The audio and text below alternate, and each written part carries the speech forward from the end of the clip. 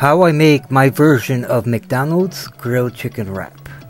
Seasoning that I am using is 1 tablespoon of onion powder, 1 tablespoon of garlic powder, 2 tablespoons of Badia complete seasoning, 3 teaspoons of Goya adobo for the salt, or you can just add salt to taste, and about 1 tablespoon of black powder or less, depending on your spiciness level that you want.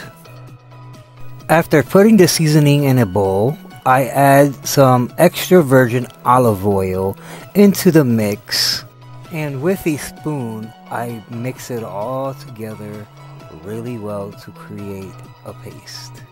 After washing and cleaning my boneless chicken breast, I will cut it into smaller pieces and then mix it really well with my seasoning.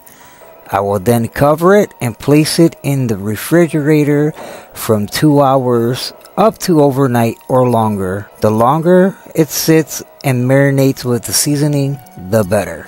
I then dice a medium onion, put it in a bowl and put it to the side for later.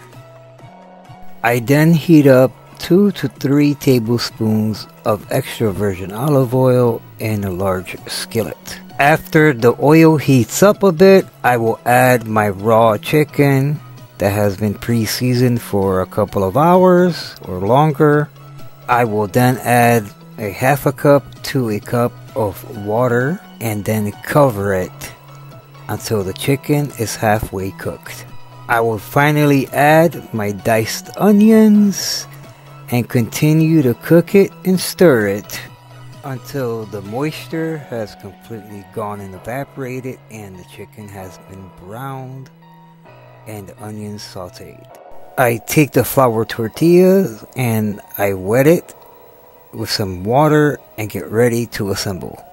I first start with my favorite salad dressing. You can use whatever you like. I add some shredded cheese.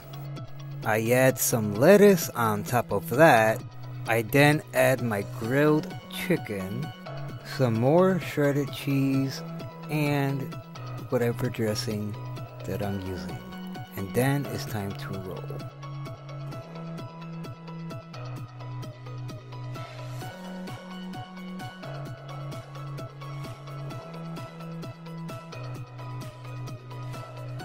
I then put it either in a sandwich or panini press or I would put it back on the skillet until I get some brown marks. And that, my friends, is how I make my version of the McDonald's grilled chicken wrap.